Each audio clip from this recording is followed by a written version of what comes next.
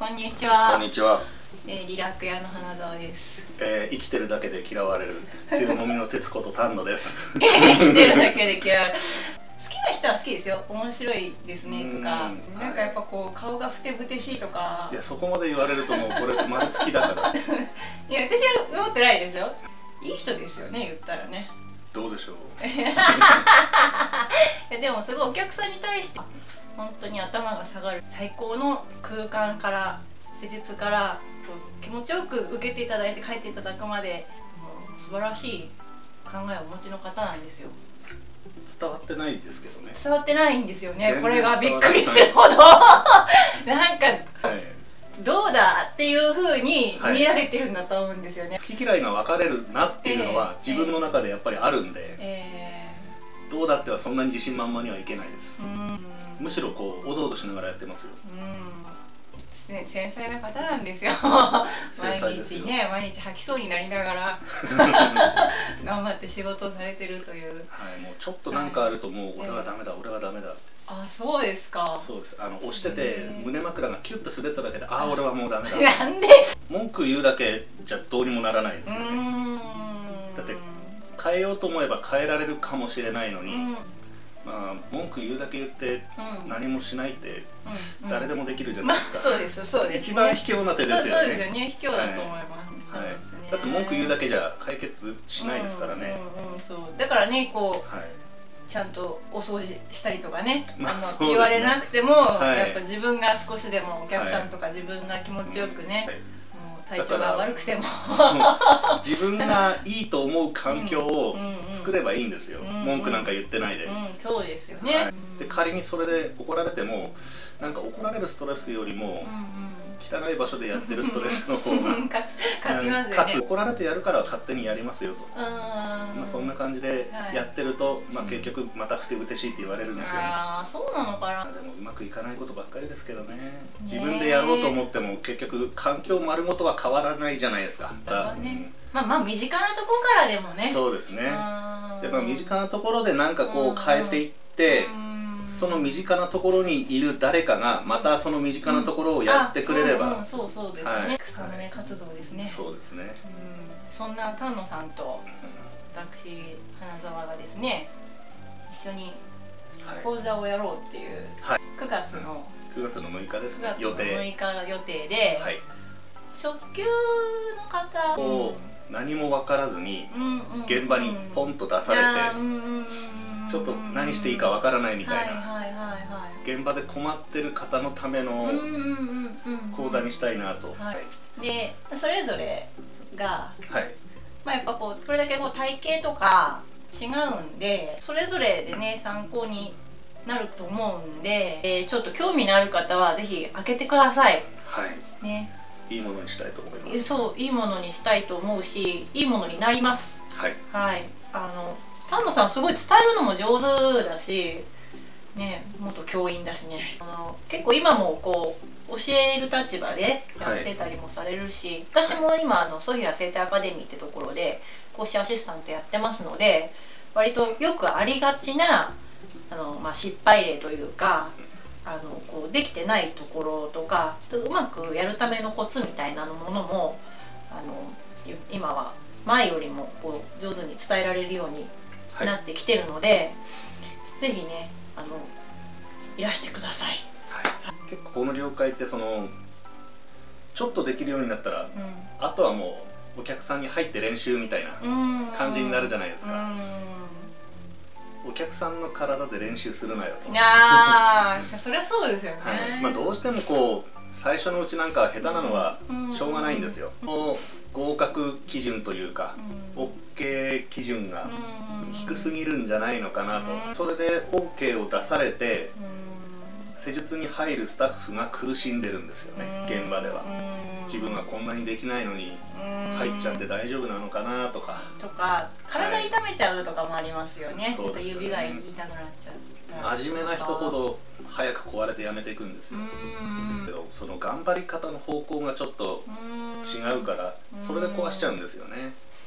だから基本整体とかマッサージって頑張っちゃいけないですからね、まあそうですね。基本頑張ってやるもんじゃないですよね。やっぱこう、頑張るってなるとやっぱこうガシガシやるっていう感じになったりとか、そうですね、うん、なもうちょっとこうスマートにできてもいいのかもしれないですよね、なんかねそこにまず誤解があるから頑張るもんなんだみたいな、はいはい、俺も最初そうでした。うんそれでやっぱ無理しちゃうとか。なんか頑張ったことによって逆に、うん、あの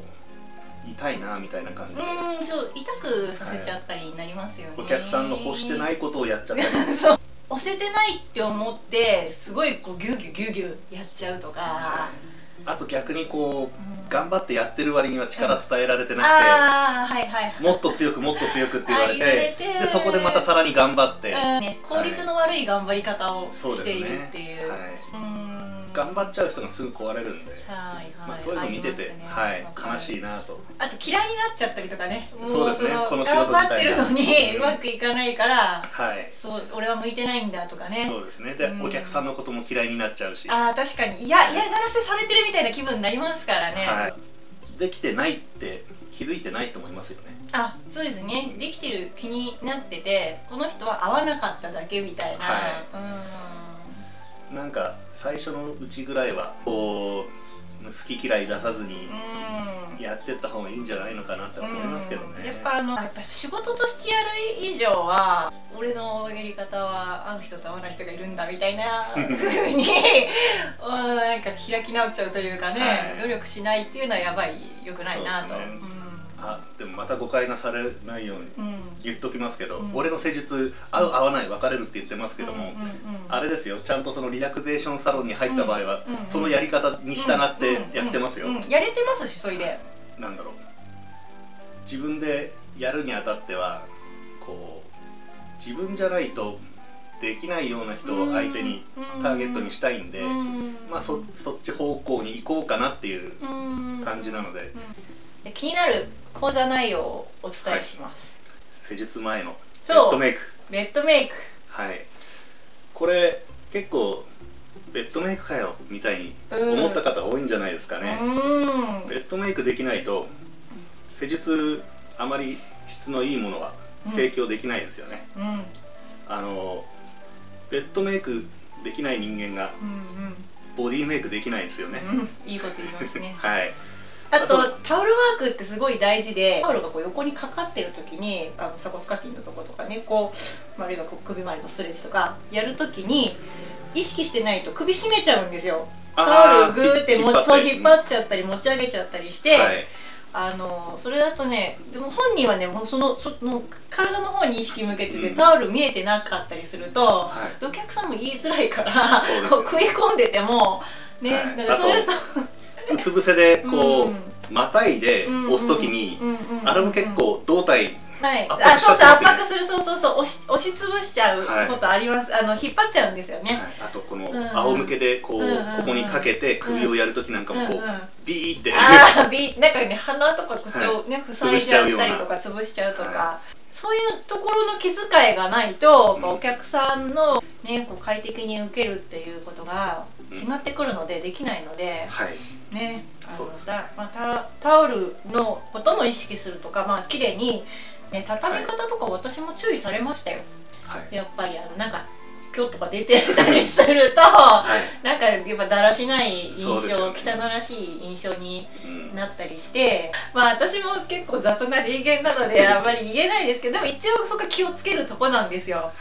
やっぱこうぐちゃぐちゃでいいやっていうわけにはいかないので、うん、意外とそのベッドメイクって現場でそんなに習わないですよね。ああんま言われないですね、うん、もういきなり施術みたいな感じでやっちゃいますもんね、うん。結構お客さんになると分かるんですけどあの気になるところです。なんかいちいちいちいちなんか、はい、あの押すたびにずれていくタオルとか、はい、あの大判1枚のタオルをこうバサッとかけてちょっと肩足りないなってなると全部引っ張って、えー、中で服がこう、めくれ結構無意識にやっちゃうといろんな点で、はい、あの不快要素になってしまうんですよ、大事です。はい。でそれからのまああとはあれですよね。結構手押しの方が多いんで、結構もう1年2年勤めてますっていう人でもやってもらうと手押しだったりあと体重をうまく伝えられてない、うん、力のロス問題。ロス問題、はい、あります。ありますね、うん、これ、ね、一番の問題は割と自分ができてると思っちゃうことなんですよね。そうですね、はい、なかなか指摘してもらえなかったりとか。あと外から見えないんですよね。だから自分の中でちゃんと一生懸命やってるからできてると思っちゃってていざ受けてみると伝わってないとか、うん、こうちょうどいいとこで止めないとなんですよね、うん、自分ではより圧を伝えるためにと思ってよかれと思って行き過ぎちゃうと、もう弱くなっていっちゃったりっていう絞れてない人多いです。うん、角度ずれちゃうんですね。そう角度ずれてるんですよね。あストップかけられない人は多いです、ね、多いですね、はい、ちょうどいい垂直圧が、まあ、垂直圧問題になりますけど、垂直圧問題大丈夫です。あの今度の講座でちゃんとやろうと思いますよ。よしよろしくお願いします。決着をつけようと思います。垂直圧についてのね、はい、丹野さんがかなり究明されたので、はい、垂直圧は垂直じゃないっていうことを やっていこうと思います。そうですね。まっすぐ押さないっていうことを。うんこの辺も楽しみなところですね。ね、まあ、私も言っても10年選手なんで、はい、それぞれねこう、はい。今までの手術の積み重ね体験などもありますし、はい、はい、まずこう現場に入ってつまずくところをやっていきましょう、やっていきましょう、はい、なのでその本人が気にしてない部分も割とその指摘できると思いますし、あとまあ気になるところを聞いていただければ、うん。まあ、いらっしゃるお客様のご要望だったりとか、ね、質問に応じて、ちょっと内容も、えー、その方に合わせてねふうにしようと思ってますので、はい、ぜひぜひご質問。あるいは何かこうそれぞれ動画も出してるので、はい、動画見ててあれどうやってやってるんですかとか、あれどういうことやってるんですかとかね、はい、あの聞いていただいてもお答えしますし、YouTube のことなんかもねもし興味あれば、はい、はい、ちょっとそのお話できるかと思います。すごい。すごいですよ、花澤さん。あ私今ね、動画ね、もう2万人登録者が、はい、2万1000人。おめでとうございます。ありがとうございます。あでも編集ソフトもね買われたんですよね。買いましたついに、ね、ドラクエを諦めて。諦めて ドラクエ買えなくて悔しくて吐き気がした。ドラクエしたいんですよ。ドラクエね面白そうですよね。面白そうです、私もやりたいですね。ただ今買っても時間がもう取れないそうですね。私もゲームなんか始めちゃったらもうずっとゲームやっちゃうから。俺も多分寝れないです。ねなんかいやでも楽しい。くね講座したいですね、はい、タコさんちょっと怖いイメージあるかもしれないですけどすごいあの楽しいね、優しい人ですから。怖いと勝手に思わないでください、はい、そうそうそう。よろしくお願いします。よろしくお願いします。本当お待ちしてます。カメラ撮影をしようと考えてます、はい、考えてるんですよ、はい、でもちろんあの NG な方は映しません、はい、ただなんか映りたいっていう人もね、はいまあ、顔を売りたいというか。そうのお名前とか顔を出したいと、はい、あの自分を売り込みたいと。撮影もしますので、はい、チャンスでもありますよね。チャンスですよ。チャンスですよ。あの、結構再生数ありますから、あの結構何千人って見てくれますからね、あの YouTube は意外とやっぱり影響力がすごいあるのでその強もみ体験会とかで、はい、そうお客さん集まったりしたのも、はい、やっぱり丹野さんっていう人を知ってるっていう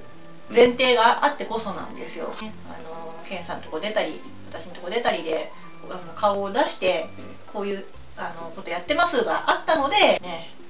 いいと思いますよ。お値段が2万円になります。はい、ただしあの私のリラックや DVD をすでにご購入の方とかこの機会にお買い求めいただいた方は1万5000円にします、はい、講座の代金は当日お持ちください。であの申し込み受付人数は5名様までといたします、はい、5名限定です。はい、はい、先着5名まで。はい、はい、あの教える時間3時間、はい、予備時間1時間とかぐらいにしておきましょうか、ね、なんか質問タイムとか、はいちょちょっと交流したりとか、はい、っていうような